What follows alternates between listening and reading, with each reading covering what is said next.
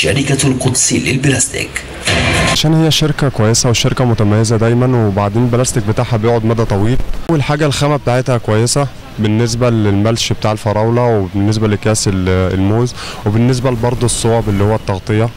اللي هو الصوب الزراعية بالنسبة للخيار وبالنسبة لملش ال- الخيار برضه أنا جربت كل ده ولقيت بصراحة منتج كويس جدا أحسن من منتجات كتير. شركة كويسة وشركة متميزة ودايما إحنا بنتمنى له الخير دايما وتبقى دايما في أحسن وأحسن تعمل لنا منتجات أحسن من كده كمان. سمعنا عن الشركة إنها الجوده بتاعتها محترمة تمام؟ وإحنا يهمنا الجودة بتاعت ال- البلاستيك لأن ده عامل أساسي في في شغل الفراولة. الميزة بتاعت القدس الجودة بتاعتها طبعا جودة أعلى والسعر أقل. أنا عندي الحاجتين الأساسيين متوفرين عند الجودة والسعر. منتج معانا في التكييس الموزع ديت منتج خامة محترمة خالص وبيستحمل معانا ممكن نشيله ونرجع نعيد تكييسه مرة تانية. ويعني في مميزات كتيرة عن منتج عن أي منتج استعملناه قبل كده. ذات منتج القدس ان ما بقول لحضرتك بنستعمله أكتر من مرة وبيستعمل معانا بشكل منتظم حلو خالص وبنطبق الكيس ونفرده تاني وبنستعمله تاني. أكتر مرة كأنه لسه جاي جديد خالص من الشركة وعمل معانا يعني شغل أفضل من أي منتج تاني استعملناه قبل كده.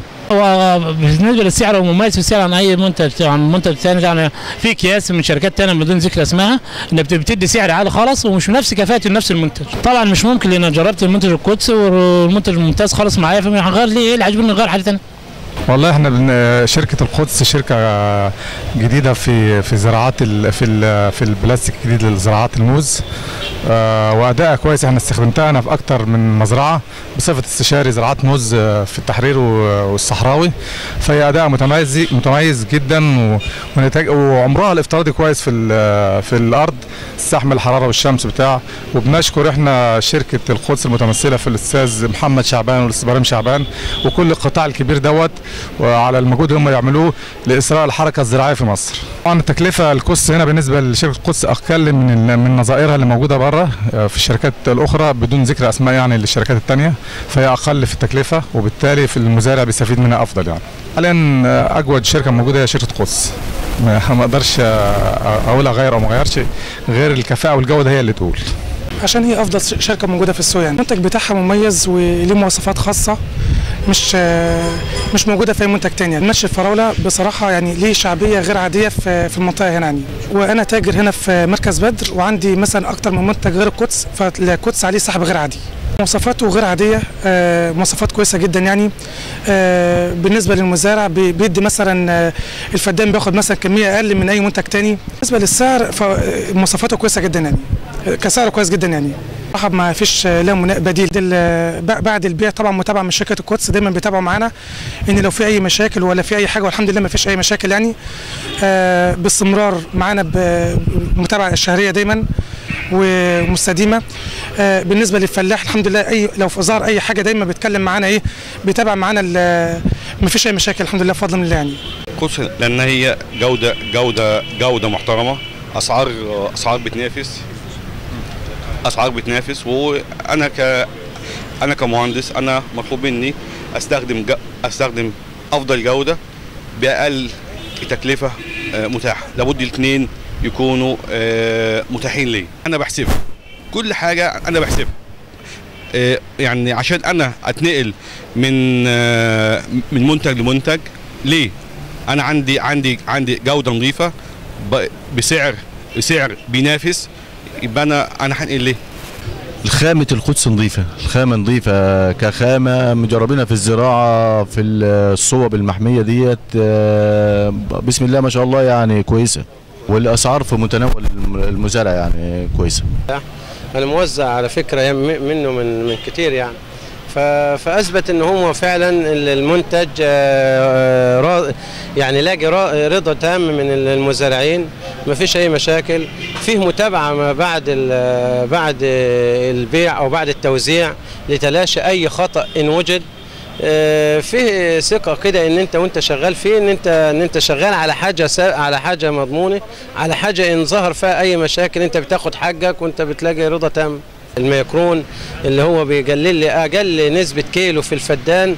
بنستفيد أنا بعد ما كنت أنا بنملش الفدان مثلا ب 120 و130 أصبحت الوقت بنملش من 90 ل 95 كيلو الفدان يبقى وفرت لي زائد إن هو بيفضل العمر بتاعه معايا لنهاية الموسم بتاع القدس القدس مصر أنا شغال معاه بقالي أربع سنين. ما فيش حد اشتكى ما فيش حد اشتكى منه خالص. القدس مصنع محترم حتى بالنسبة يعني أقل حاجة في الم- الميكرون بتاع البلاستيك بتاعه مظبوط والفدان بياخد آه، حجم أقل. يعني بالنسبة لمصنع القدس لما بياخد الفدان بالنسبة للملش اللي هو الفض في بني بياخد 100 كيلو. في منتجات أخرى بياخد 120 كيلو. وسعره أقل. سعره تنافسي صحيح. الناس بتيجي تطلب القدس بالاسم. أيوه تن- تنظيم جيد وال- والحضور جيد واهتمام الناس الواحد سعيد باهتمام الناس إن هي إن الناس حريصة على إنها تحضر ندوات وتحضر حاجات لتطوير ال- المنظومة الزراعية وتحسين استغلال الأرض وإن هم حاسين بالخطر اللي بيقابلوه من تغيرات المناخ ومن ومن المشاكل المية ومن ندرتها. فبجد كان يوم جميل يعني. أنا أنا حسيت بقد إيه الناس محتاجة إن إحنا نقرب منهم ونتعاون معاهم. الحقيقة إحنا آه، سعدنا النهارده بال- بحضور الندوة آه، مع شركة القدس.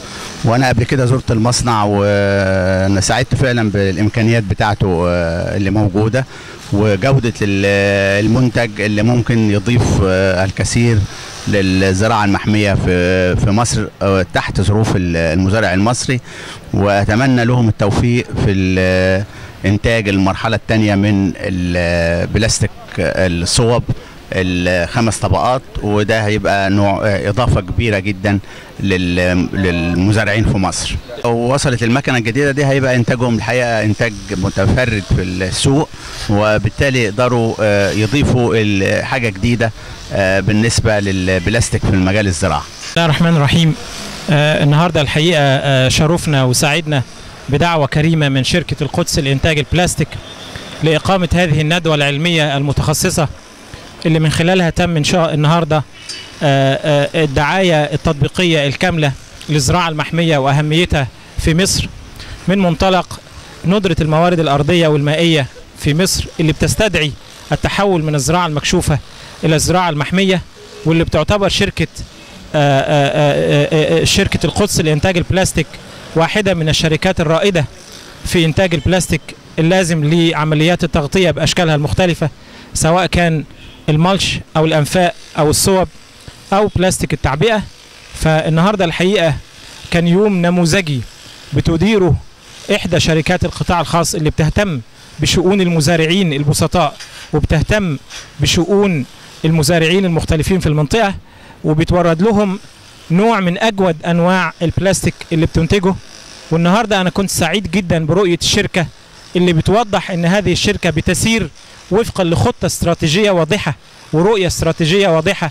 من خلالها بتسعى هذه الشركة لتصبح أحد الشركات العملاقة ليس فقط في مصر وإنما في العالم العربي والإفريقي. وامتدت هذه الرؤية لتصبح أحد الشركات العالمية عام 2025 أنا النهارده بهنيهم على رؤيتهم الثاقبة وبهنيهم على تنظيم هذا اليوم الرائع وبهنيهم على منتجاتهم من البلاستيك اللي هتسود في هذه المنطقة الرائدة في زراعة الأنواع المختلفة من الخضر ونباتات الزينة والفواكه.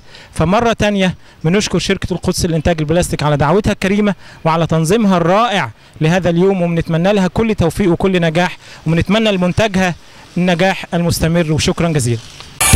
شركة القدس للبلاستيك.